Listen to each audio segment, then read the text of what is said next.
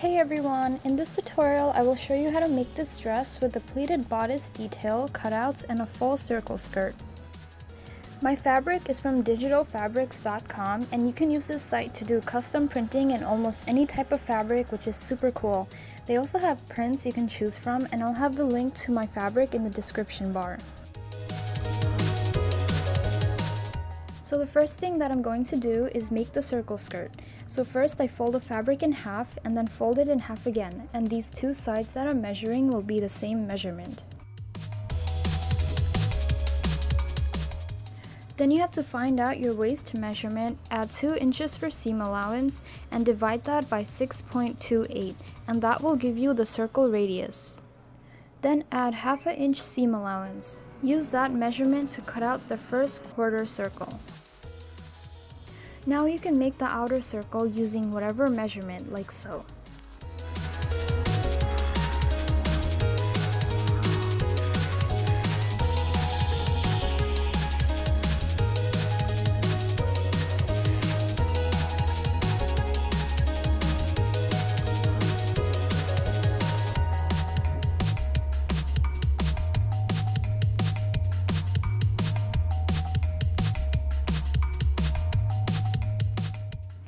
Now cut a straight line on one part of the skirt.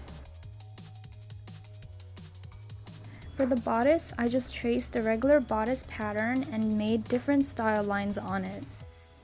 Then I traced those individual pieces on a new piece of paper and added seam allowance on it.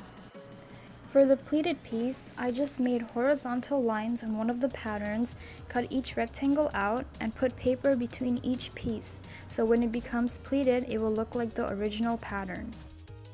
So you will see that I use this method for a couple of the pieces in this dress. Then I will just cut everything out.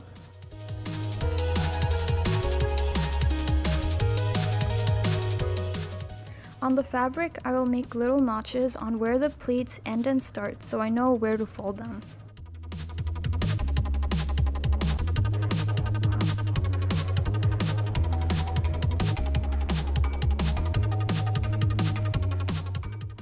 I will keep the folds down with pins and then sew all around it with the sewing machine.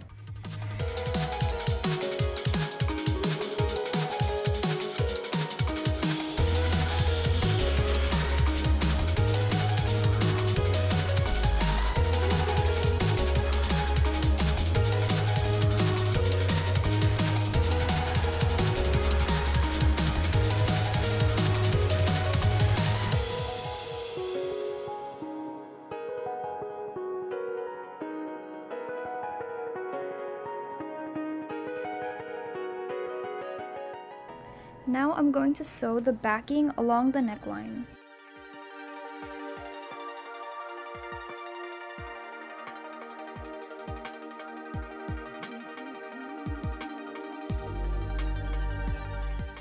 So this dress will be clean finished from the inside, so a lot of these pieces are cut in doubles. So now I'm just attaching the side panels.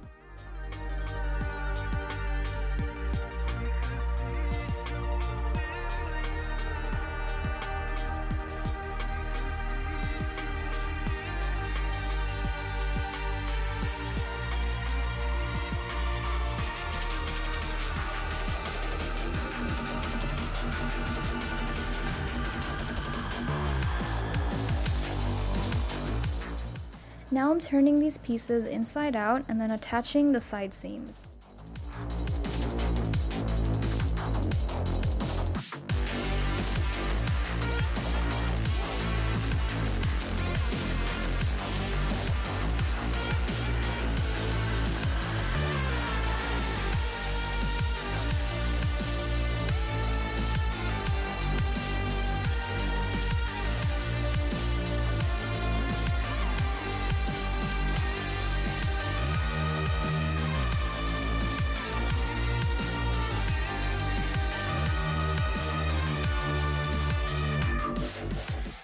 So I will do these steps for the other side of the dress and then attach the shoulder seams together. So I did the same pleated detail on the sleeves and I will attach it to the dress like so.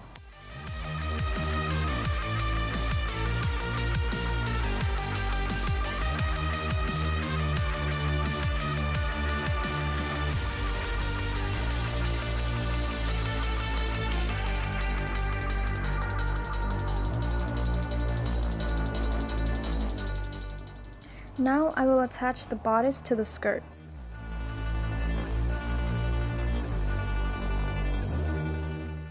Then I will attach the invisible zipper and hem any raw edges.